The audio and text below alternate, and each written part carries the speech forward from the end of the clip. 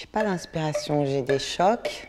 Tout mon travail est lié à des, questions de rapport. Quand je suis partie au Japon, j'ai découvert cette technique de corde de shibari qui vient des samouraïs qui euh, attachaient leur ennemi avec.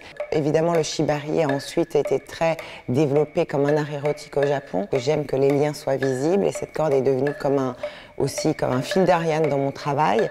Et euh, pour le slack Lady Dior, ce cuir envoyé à une peau, j'ai trouvé intéressant que ce sac aussi euh, ploie un peu sous ses nœuds.